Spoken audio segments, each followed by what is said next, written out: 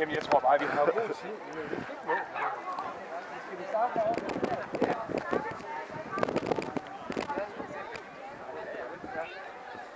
herovre?